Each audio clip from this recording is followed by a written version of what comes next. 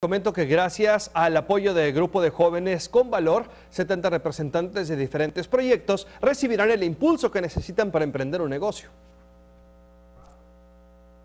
Son jóvenes vida rica. Su anhelo es llegar a formar una pequeña empresa comercializando productos artesanales representativos de su cultura para que la sociedad conozca sus raíces.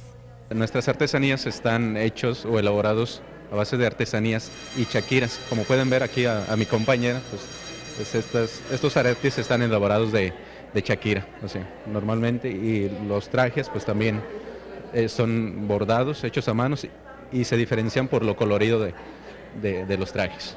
Gracias al apoyo de jóvenes con valor que la sociedad Choca FEMSA llevan a cabo desde hace tres años, ahora lo podrán lograr al recibir un capital semilla para impulsar su proyecto.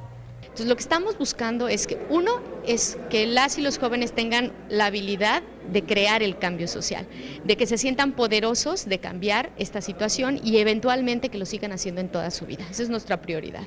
Por supuesto el medio es el, diseño del proyecto y por supuesto la ejecución del proyecto. Y dentro de esa ejecución del proyecto sí estamos buscando que ya sea estén dirigidos a niños, a pequeños comercios, a adultos mayores, a diferentes poblaciones, pues puedan de alguna manera cambiar esa situación. Al igual que ellos, representantes de 70 proyectos más recibieron el incentivo este fin de semana durante la clausura de la presentación de ideas en la Facultad de Educación de la Universidad Metropolitana. Esta es la tercera generación de jóvenes emprendedores que son apoyados por la sociedad en tres estados de la República. Pureza Marín, Noticieros Televisa.